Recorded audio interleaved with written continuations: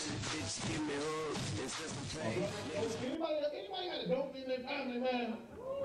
Everybody ain't got a dope in their family, don't they? Dope things are crazy. I got a brother, man, this motherfucker's just way, way, way out there. You know? Because he always getting himself into some shit, and then I gotta save his life. All the time. He wanna involve me in it.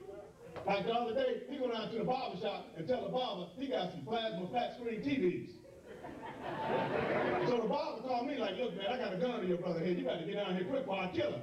I get down there, I'm like, uh, what, what, what merchandise you trying to sell? This man opened up the box. You know this motherfucker tried to sell this barber one of them old ass, fat ass TVs with the back missing. and hung up on this man wall. I'm like, whoop his ass. This nigga crazy. He always doing stupid shit. You know what I'm saying? Crazy as hell. Always trying to get me in some bullshit. You know? He used to work for Greyhound, y'all. Had a good ass job. You know? Had a good ass job. He fucked that up. He used to drive for Greyhound for 10 years. 10 years. You know what I'm saying? He got on drugs real bad. He got the feeling so bad one day, this motherfucker drove the Greyhound bus to the dope spot. he still had the passengers on the motherfucker. I sit down, bitch, we don't get to clean it. Here.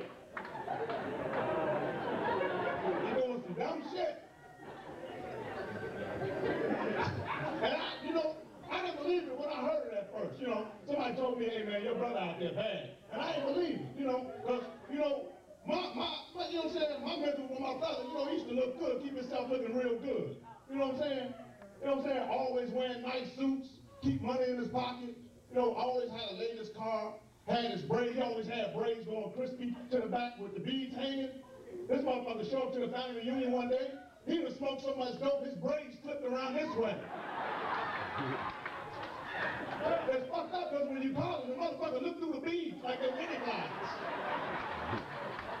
Your ass is out of control. You have lost it.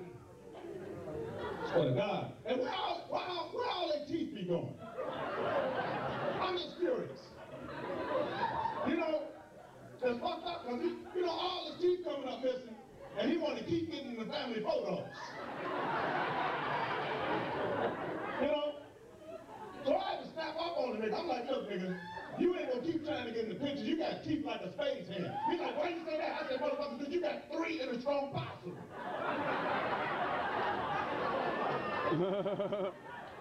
he come back the next time, all of them was gone. I'm like, ain't this a bitch? Somebody done ran a Boston in my brother's house.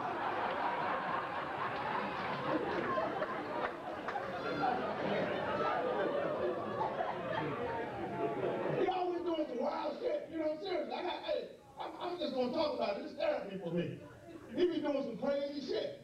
Like, he picked me up one day, he's like, look, we going to check on mama. You know, we going to check on my mother. You know, we get downstairs, he got this old ass Cadillac from the 70s, right? Talking about, hey nigga, you know I got the new heated seats. I'm like, how the fuck did he get these heated seats in this old ass Cadillac? I get in there, the seats is heated. I'm like, my ass still warm as hell. I'm wondering, I'm like, how the hell did he get the heated seats in this old prayer life. Y'all know I lift the seat up to look somebody there? It's another dope fiend blowing in my ass.